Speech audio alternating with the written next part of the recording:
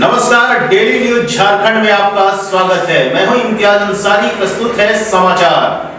अपने परिवार का पालन पोषण करने के लिए पलायन को मजदूर, मजबूर मजदूर अन्य प्रदेश में जाकर फंस गए हैं।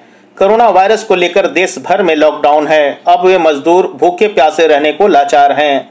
बताते चले कि कांडी प्रखंड क्षेत्र अंतर्गत गुड़दाग गाँव निवासी मुनेश्वर राम ने जानकारी देते हुए बताया कि मध्य प्रदेश के इंदौर में हम सब कुल 40-45 मजदूर फंसे हुए हैं।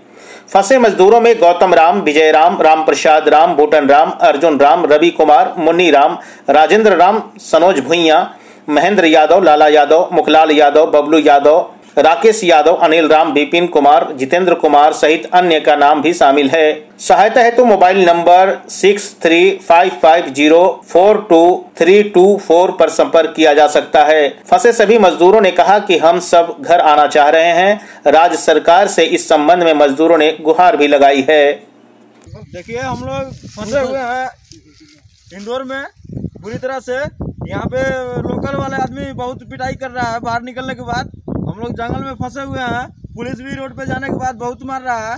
इसकी वजह से हम लोग गुजारिश करता हूँ झारखंड सरकार से कि हम लोग के यहाँ से कृपया करके निकालने का कष्ट करें। यही मैं कहता हूँ बहुत बुरी तरह से फंसा हुआ हूँ। मेरा जनता लोग इतना है आदमी है काम करने वाला सब है। कंपनी मेरा जवाब दे दिया कि तुम लोग जा सकते हो। पैसा नहीं है हम लोग के पास एक रुपया। कौन से कंपनी में काम करते थे कंपनी में काम करते हैं। वो सब अफीता ने मना कर दिया कि जा सकते हो। हम लोग के ट्रेन बंद है। कैसे निकले? सरकार से मेरा झारखंड सरकार से यही निवेदन है।